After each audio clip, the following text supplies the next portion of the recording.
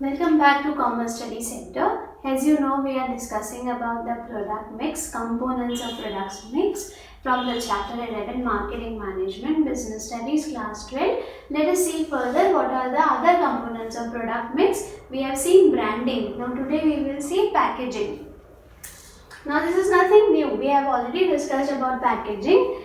But what are the levels of the packaging and what are the functions of the packaging involved in the product mix that is important to study. So what is packaging? Basically it is a set of tasks or activities which are concerned with designing production of an appropriate wrapper, container or bag for, for the product. If you have focused in our daily lives also, if you have concentrated, if you go for a shopping, according to the product you buy, the packing is done accordingly.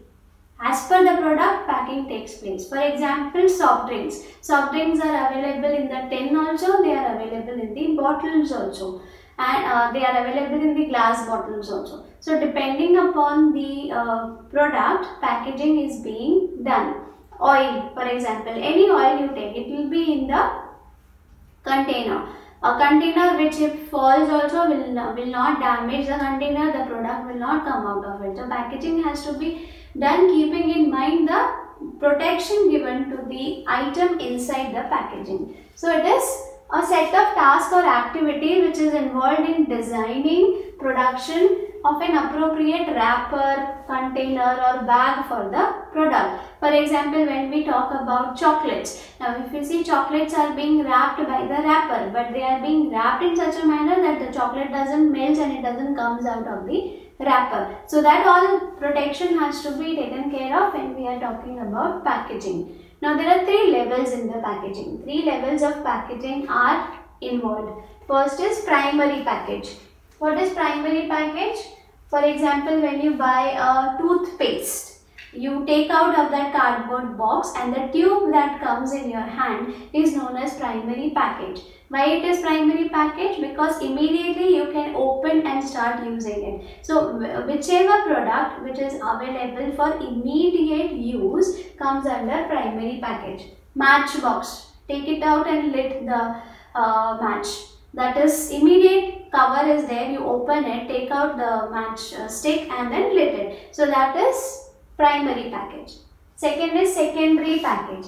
Uh, secondary package is nothing. Additional package is given for the protection. To protect it from the sun moisture uh, environment etc addition secondary package is additional package given to the primary package as I told you, toothpaste. The direct toothpaste when you are using it is primary package. But when you are taking it out from, from the uh, cardboard box, it is available in the cardboard box. For example, Colgate. So Colgate has that red colored cardboard box. That cardboard box is an secondary package. It is an additional package given to the product. Then comes transportation package or you can uh, uh, you can say tertiary package. Now this transportation package is nothing but it is used for storing or transporting the product from one place to another. For example, when we are transporting the uh, TV or you can say home appliances then those big board cartons with the thermocol inside is used. Why? Because you are transporting from one place to another the product and there are always chances of the external environment to affect the product or maybe product can fall down and break. So you want to avoid all that and that is why transportation package is the third level of the packaging. Let us see what is the importance of packaging. Why do we focus so much on packaging? Why is it an important ingredient in the product mix or it is an important component? First, it rising standard of health and sanitation. Now people are more aware about the health hygienic situations and sanitation. So even if you uh, give them any loose product, they will not buy. They will say that I don't want this, this is already open, give me the packed one. Why do they go? Because they are bothered about the health and the sanitation. The closed products which are packed have the less chances of contamination of products whereas loose products have more chances of adulteration of products. Second, self-service outlets Now self it is very helpful for the self-service outlets because in self-service outlets customers enter the outlet and they have to do shopping on their own. They have to pick up the products on their own. So at that particular point of time if packaging is attractive it induces more sales because it is attracting more customers. If the packaging is attractive, colorful, innovative then it will attract the customers. Next is product differentiation.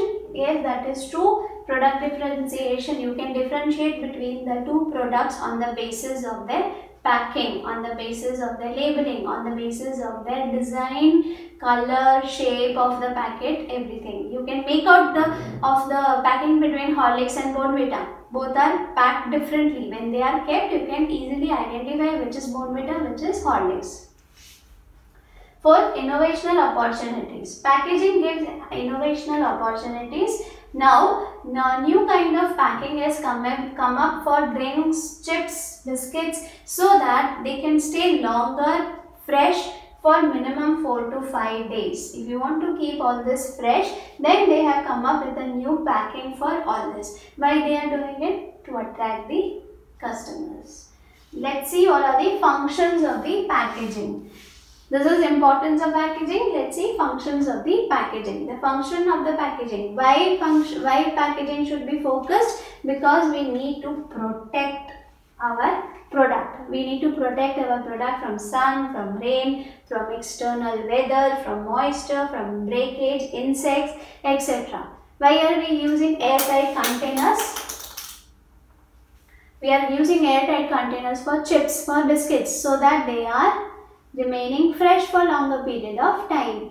When we are shifting home appliances, when, we, when we are dealing in home appliances, even in the store also if you see, they are being placed in such a manner that they do not fall down. So big board cartons are used for packaging TV, refrigerator or any home appliances. So why we are doing it? Because we want to protect. Then comes identification. With the packaging of the product, we are able to identify the product, that is product differentiation. When I see from the far some transportation uh, truck is going with some transport uh, uh, with yellow and black color and with uh, the alphabet K, then I can identify that it is a Kodak product that is going. When Coca-Cola is going, the packaging is different and I can identify that Coca-Cola is going. That identification helps to the stores also. When it goes from warehouse to the store, the store guys can also identify that this product has come, this product has not come, this is uh, the, this product and this is that product. That dif product differentiation also takes place. So it becomes easy to identify the product from the packaging. Convenience. Packaging is done keeping in mind the convenience to handle the product handling the product becomes more convenient. The best example for this is IKEA.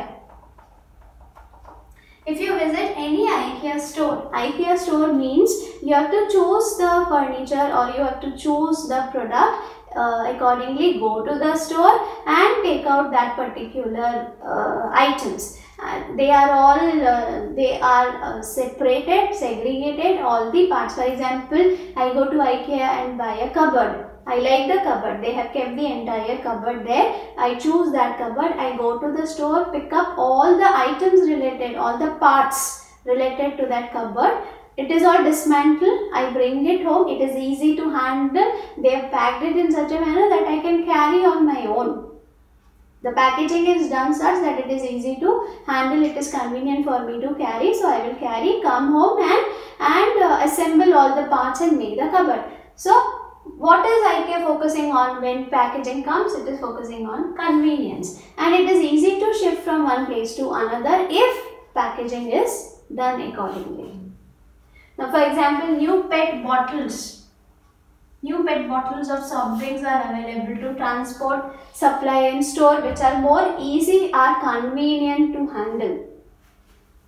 For this promotion, now, when uh, packaging also helps in promotion because it enhances the sales of the product. As we know promotion uh, takes place through the attractiveness of the packaging and uh, keep uh, the product lying on the shelf is also known as silent salesman. It is attracting the packaging is attracting the customers to buy. It is inducing the customer to come and see. For example when we uh, go to any supermarket and there is a toy section if you see the packaging of the toys they are full of color colors and innovative products and and pack packed in such a manner that it, it gives curiosity in the child to see what inside the toy is. So that is giving promotion to the product. So we have discussed about branding as component of product mix and packaging as a component of product mix. Stay tuned in. We will see further another component of product mix. So do not forget to subscribe, like, comment and share and come back. Thank you.